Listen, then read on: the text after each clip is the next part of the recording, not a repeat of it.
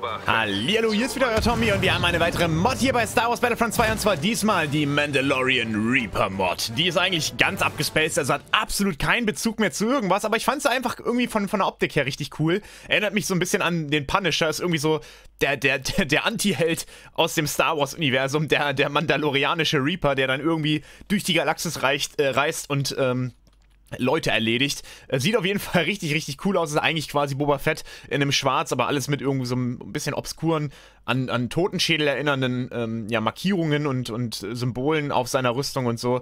Natürlich hier ne, das, das Zeichen auch nochmal, hier auf der Brust ebenfalls das Zeichen. Und äh, der, der Helm in sehr, sehr cooler Form designt, wie ich finde. Alles in schwarz gehalten mit weißen und äh, roten Elementen.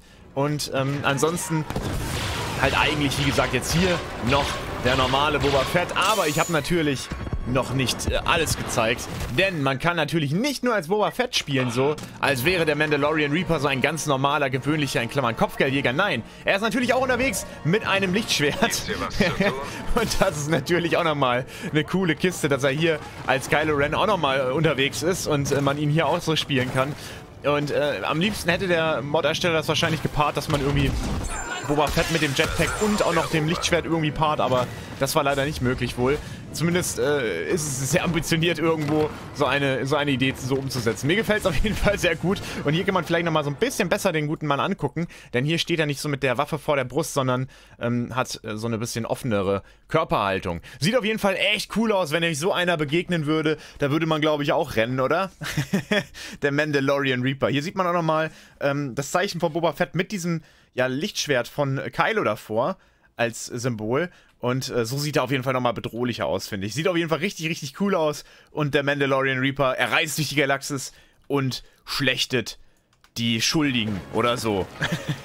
ich finde es auf jeden Fall sehr, sehr witzig. Ich finde es mal interessant zu hören, was ihr denn sagen würdet, ähm, oder was ihr denn haltet von solchen Mod-Vorstellungen, die dann doch eher sehr, sehr abgespaced und sehr, sehr, ja, gehaltlos sind irgendwo. Also das hat ja nicht, das wirklich gar nichts mehr mit Star Wars zu tun oder so, sondern das ist reine Fanfiction irgendwie. Findet ihr sowas auch ganz witzig oder eher nicht? Soll ich sowas häufiger bringen? Wenn dann da auch eher abgespacede Mods dabei sind? Oder wollt ihr dann doch schon lieber irgendwie so ein bisschen Boots on the Ground ähm, mäßige Mods haben? Man sagt, hey, die sollen schon ein bisschen Bezug haben zu dem ganzen Kram. Und ähm, ja gut, jetzt zu fragen, ob ihr sowas gerne im Spiel haben würdet, ist natürlich Quatsch, weil sowas wird nicht ins Spiel kommen. Äh, ist wie gesagt einfach nur reine Fanfiction. Trotzdem ganz cool. Schreibt gerne mal eure Meinung zu solchen Mods in die Kommentare und äh, würdet ihr gerne vom Mandalorian Reaper gejagt werden? Was macht ihr dann, wenn er kommt? Schreibt es auch in die Kommentare. Und dann äh, sage ich mal vielen Dank fürs Zuschauen, bis zum nächsten Mal und ciao, ciao.